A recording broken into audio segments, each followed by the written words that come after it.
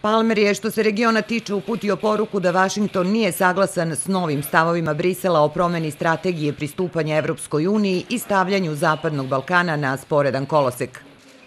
Amerika želi da Zapadni Balkan ima evropski perspektiv i mi ćemo, radi, mi ćemo raditi sve što možemo da ubedimo Evropsku uniju da promenite stav pre sastanka lidera u Zagrebu u maju.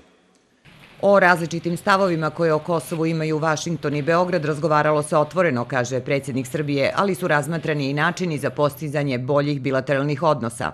Mi da ulazimo u sukobe sa Amerikom nećemo, ja sam to rekao već bezbroj puta, Srbija da misli da može da pobedi Ameriku i da se svađa sa Amerikom bi pokazala ne samo svoju naivnost, već i glupost.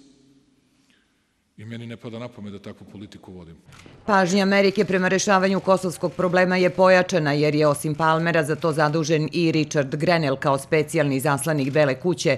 On je nedavno takođe razgovarao sa predsjednikom Srbije Vučićem i taj razgovor, kako je javno objavljeno, nimalo nije bio prijatan, a tamo gde je pojačana pažnja Vašingtona mogući su i pojačani pritisci, kažu za RTS iz Instituta za evropske studije.